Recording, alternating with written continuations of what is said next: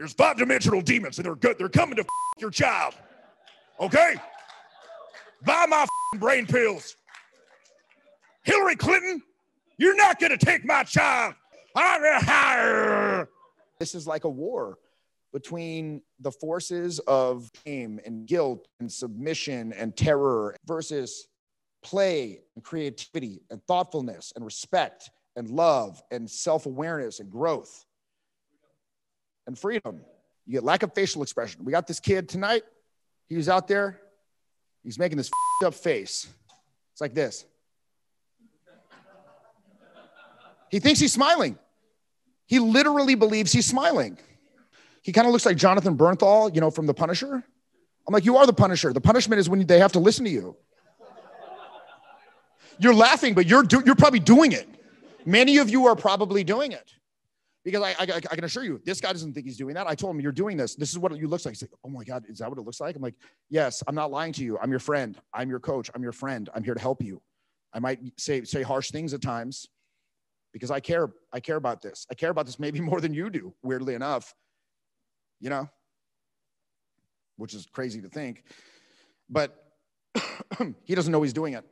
So, a big part, like when I say awareness, a big part of all this is number one, becoming experientially aware of the gap between what you believe you're projecting to other people and what is being perceived. Once you become experientially aware of that gap, you can take steps to close it. How do you do that? Well, you first have to investigate what's inhibiting the flow of energy, what's inhibiting that flow. So you want to develop a total exercise process for your total instrument. That starts with understanding the various parts that contribute to the gestalt that is your communication. And then seeing where the weaknesses lie through diagnostic exercises that put additional demands upon each of these areas. And then strengthening them. And then putting them back together in a more completely realized whole. Full spectrum communication, full spectrum. Again, a full spectrum communicator is somebody who is aware of and able to exercise energy expression on a wide range of, of spectrums from, again, physical, vocal, emotional, mental, spiritual. Good evening. Right? Good evening. Supposed to, what's up? I can't even do the what's up. If I try, they, they, they think I'm kidding. You know what I mean? Because because they know I'm not, they know I'm not treading water. They're, they're like, because most people, when they go to what's up, what are you doing? What are you living? I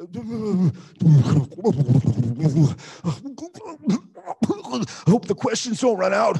What do you do? Where do you live? What, what do you do? They're, they're, they're like desperate. They're desperate. They, they, as soon as the questions run out, they know they're done. But again, we could go up and be like, oh, so what do you do? Besides be incredibly hot.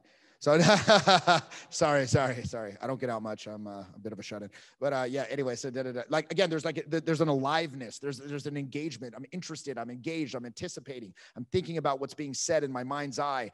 There, there there's a there, there's some sort of there's a, there's a, a clarity. There's a lens between the inner and outer. My mind is not a it's not a barrier. It's a bridge between the inner and outer. I'm a conduit for these energies. I'm a conduit. I'm a channel. I don't even come up with this shit. I don't. Where's the? I don't. I don't know. It seems like these ideas just sort of are floating around and they sort of land on me, and I say them. You know. Again, Keats said, "Beauty is truth, truth beauty." There's a certain sense of symmetry when you say these things that seems right. You know what I mean? Again, the Rig Veda, the, the Hindu text said, knowledge is structured in consciousness. I trust my faculties. I trust myself. The things I say, I, I believe have value intrinsically. Some people are going to like it. And guess what? Some people ain't. Understand you're for some, you're not for others. And be okay with that. Be okay with that. I'm not trying to find 10 people that think I'm sort of okay. I'm trying to find the one that thinks I'm, I'm great. Dude, this guy's great. I love this guy. He's, he's fun. I enjoy, I enjoy being with him. It's like, it's like, yay, I enjoy being with you too. Let's do it. Like, and I'm, and honestly, it goes both ways. I'm looking for someone that I enjoy being with. And so again, like, I don't just go around talking to everyone like, ha ha, pussy, pussy, pussy, pussy, pussy, pussy. Reframing negative emotions. Um, what is an emotion? I mean, we've talked about this before. What, what is an emotion? What makes an emotion its own separate category? What, what about these mental states makes them unique that we put them in a basket together called emotions? Felt affect. Yeah. Well, I mean, they're, they're subconscious biological processes that we experience. There's something, they're things that happen to us, right? They are not things that we will to happen they can overwhelm the cognitive working space. They can overwhelm uh, the cortex and kind of hijack the RAS so you're unable to even process information that would be contradictory to that state. Like you're afraid, you're like, I know I shouldn't be afraid.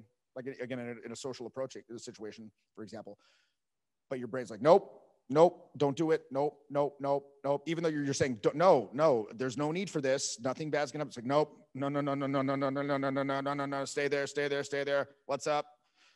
Leave. I mean, we can set up, we can, we can arrange for the stimuli to be present to give us the emotions we want, like going to the movies or taking drugs or or eating a meal that we like or you know having a meeting with our friend. But but again generally there are things that happen to us. So i think that and again paul ekman's book emotions revealed seminal book on on the work he basically talks about developing four skills. Number one becoming more consciously aware of when we are becoming emotional. And then this gives you a modicum of control over how much you allow it. Because look emotional emotional episodes serve purposes but in the best case scenario, they don't do harm to us or other people as a result. You know, like I, for me, for example, I suffer from like uh, rage attacks where I become extremely angry about things.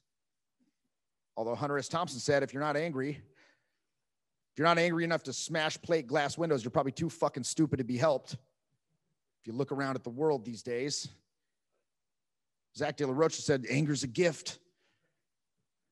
Rage Against the Machine. But but you know, those things can very often cause me to have uh, disproportionate responses and and then have to apologize later. So so again, I've learned to identify when I'm going into that state and then try to cool those hot triggers off. So number one, identify when you're becoming emotional. Number two, learn to cool the hot triggers off. Number three, conversely, learn how to identify emotional episodes in other people or emotional feelings in other people. Again, this is where I think is a lot of people are lacking in this area. They have zero attunement to other people's subjective emotional experience. Why? Because they're so wrapped up in monitoring what they're saying and what they're doing that they cannot there's no there's no ram there's no ram to, to monitor the the other person's emotional response. Like what do what do i say? What do i do? And, and then they're in the weeds. They're fucking in the weeds. They can't they can't handle that right? So but here's an interesting thing as you train your objective modes, the face, the voice, the body, you're also simultaneously training your perceptual, the, the corresponding perceptual modes.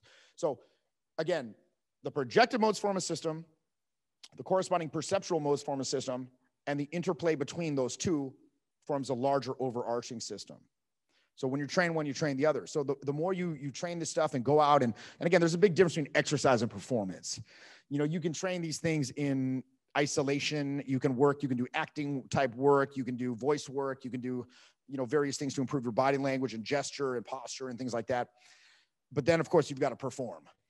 And when I say perform, I mean have actual interactions. And I think that's a, I think that's a valid analogy because there's definitely a sense of performance when you meet someone for the first time. You know, they're like, okay, what? You know, so so as you train those per, the projective modes, you're training the corresponding perceptual modes, and you get this emotional acuity where you can sense tiny shifts in what the other person is feeling, and you can modulate your tone accordingly to kind of ride the wave. You can kind of you know do a self. You go a little too far, you can do a little self-deprecating facial expression and kind of you know apologize in a jokey way, plow it under, you know things of that nature. And and then so again, so number one, become aware of your when you're becoming emotional. Number two, start to cool off the hot trigger so you're not in that grip of it as much. Number three, become aware of what p- other people are giving you emotionally. And then number four, understand what to do with that information. And of course, that's going to be contingent upon the context, the relationship you have with that person, et cetera, et cetera. So for me, I, I think, you know, look, the emotional process, it's simply one of, of many subconscious processes that influence our behavior again, your your intellect or your mind or your your cognition, it basically serves a it, the function it serves is to take various subconscious processes and sort of tie them in a bow and and, and get like like think about this. Very often we become emotional without even uh, being becoming intellectually aware of it right? So it does not need the intellect. It, it just kind of happens. And then in my intellect might become aware of it later right? So again it's it's the result of a subconscious process rising up to the surface and then us becoming aware of that intellectually. So there's a lot of these different processes. So it stands to reason that a lot of the shit we do our behaviors we're not even aware of them. We do them for no reason whatsoever for no intellectually thought out reason whatsoever. Half of the shit you do you don't even know where the fuck you do it right? And so the mind it tries to wrap this up in a bow and like give you a sense of self, give you a coherent sense of self based on these behaviors and your history and what you think of as your personality. And again, the context of the situation. It's like, this is me. Right. So, you know, again, it's very, most of us look in the mirror like, okay, there I am. I'm Jeff. I'm, I'm this unit, this person, this individual unit. But again, there's a lot of shit going on under the surface you're, you're not even aware of. So, again, through introspection, we can become aware of a lot of a lot at least aware of the functioning of the intellect we can increase the amount of time it spends in useful and productive activity as opposed to being this fucking judgmental hindrance. Now here's the other thing. This uh consciousness is strangely arbitrary right? The distribution of consciousness is strangely arbitrary. Like some things we pay attention to some things we don't. And i think a good analogy is for it is our vision. Like looking forward you have a small area of distinct focus. Out here there's a f- increasingly fuzzy area. Like do it right now. Put your finger out and like see see how far. Put your finger out here. Now try to focus on your finger without bringing it into focus. Now this is hard. It's hard to focus on things in your periphery because generally once you focus on them, you, they tend to come into focus. So in your mind, you can do it with great effort, right? So in your in your consciousness there's a similar it's, it's kind of an analogous thing going on. So there's all these other things happening in the periphery of your consciousness that you can't really notice because generally once you notice once you notice them then they become fo- focused. So you want to sort of attempt to study these sort of like more peripheral consciousness activities i guess you might say to understand how it's affecting you especially when you're out trying to communicate because again, look at these guys. Look at these fucking dudes.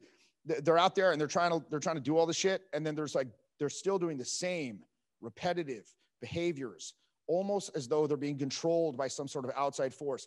They intellectually are aware that they should be doing X, Y, Z, but they just can't do it, or they're stuck in in, in this and that and the next thing.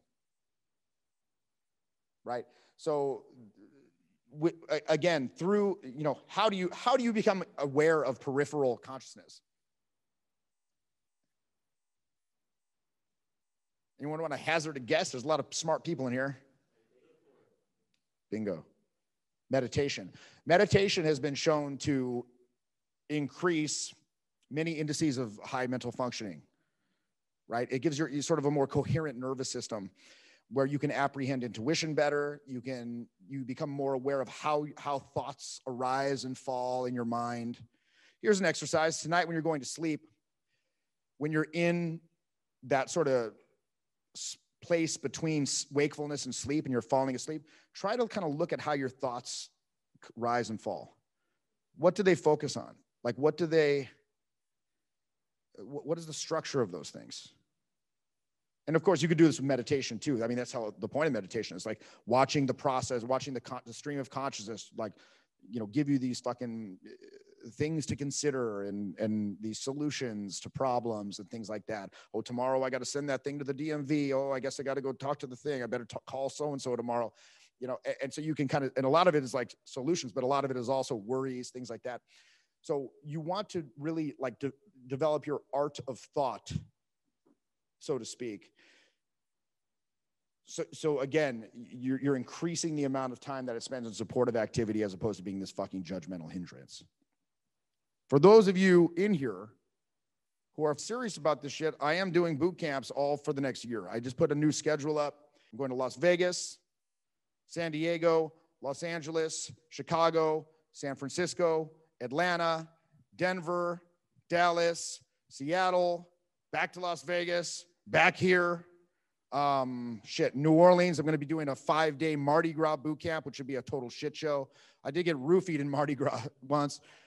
You ever, anyone ever here ever been roofied? One guy, two guys. It sucks, dude. It's not good. I was talking to this girl at uh, Lafitte's blacksmith shop on Bourbon, and she's like, "Oh, hey, nice talking to you. I got to go. My friends are leaving. Um, but hey, this guy just bought me this this drink. Do you want it? I'm like, what is it? She's like gin and tonic. I'm like, oh, perfect. Thank you. Okay, have, have a great night.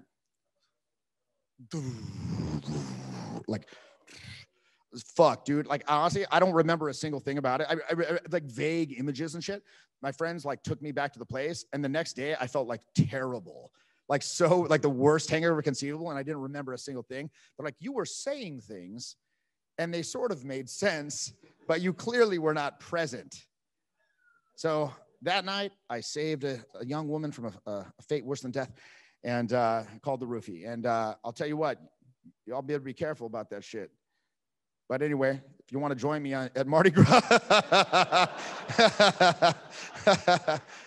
you know, I bring these weird accoutrements. We're going to have like laser swords. I give everyone laser swords. It's awesome. Yeah, we're like, so you can find each other in the crowd. Uh, I'm really looking forward to that one. I love that one. But on these programs, like I said, man, like I, I like I like there to be. I don't want people leaving the program not understanding what to do. Like you're going to understand what to do. When you leave that program, you're going to understand precisely what to do when you're in the moment. You're going to be like, okay, I'm in stage two. Let's get to stage three. But of, of course, so much of this is contingent upon you actually performing the repetitions. So I, very often I say to guys on bootcamp, I'm like, look, yo, what you're you're not doing what we agreed upon. Like I, I said, let try this tonight. You said yes, I'm going to try this, and you're not. You're simply not doing it. Why? Well, I know why. The negative social conditioning, but it's essentially like if they went to a personal trainer, and the personal trainer's like, "All right, let me show you how to do a dumbbell curl." You understand? Okay, now you do it, and then the guy goes like this.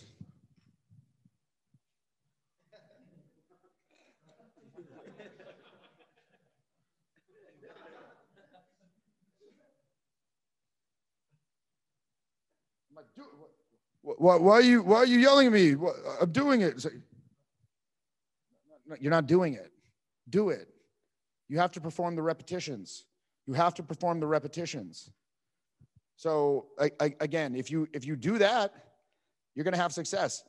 Just this afternoon, I had a student meet someone and, and form a, a love connection, which involved them performing, I guess, what might be described as the lambada uh, in the middle of the fucking unbelievable. Um, it was quite lewd and vulgar, whatever was transpiring. And then, I, then they proceeded to leave in one of these pedicabs together. And then he showed up a couple hours later like this. What's up, guys? It's real.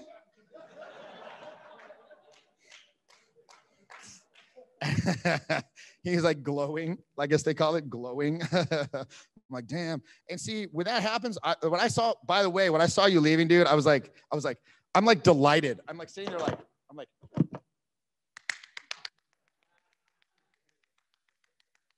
like, like literally, I'm fucking delighted because it's like I got success by proxy. You know, like the movie Avatar, I go into your blue alien dick and control it remotely. And and and if you and if you have success, I get success as well. Your success is my success.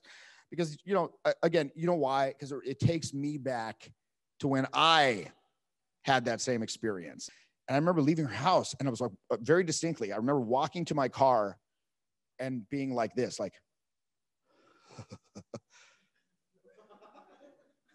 it's real. You know what I mean? Like, you're a wizard, Harry. Like, like, holy shit. It felt like having powers. Like I, I just met, I didn't even know this person. I, I just, I, I, don't even, I didn't even, I didn't spend three months getting to know her. I didn't meet her through work. I didn't meet her through a pure, I just, some stranger. And now we're, we're doing this, I guess. It's fucking awesome. right? So again, that's the experience that I want to give people on these programs, like the experience of doing things that they previously thought were impossible. Because that's where the freedom is. The freedom comes in when you liberate yourself from a psychology that prevents you from getting what you deserve. Right? From meeting the people you have chemistry with, from enjoying those relationships, from being able to go up and make shit happen for having a sense of control where you see someone and you know you have a reasonable chance to go up and make it happen. And even if you don't, it's no big deal because you have abundance now. Right? That's the experience that I want to give. I've been doing this for 20 years. Okay. I am probably, not probably, literally one of the top five most experienced people at this in the fucking world. That is not even an exaggeration. Think about that. I've been doing this so long all over the world. Should we be applauding that? like, get a job.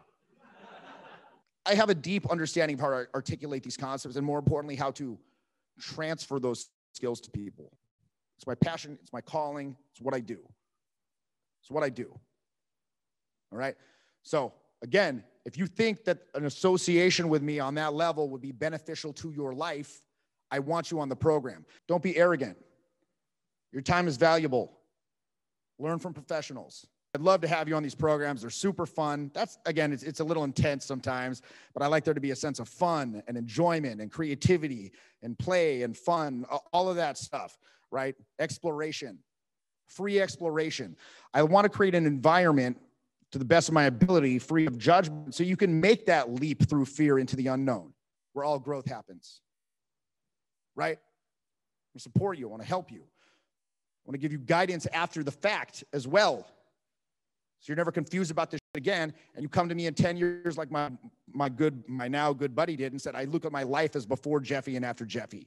That's the experience I want for you. I want you to send me a picture of your newborn child and say, thank you for this blessing. That's what I want for you. God bless you. God bless America.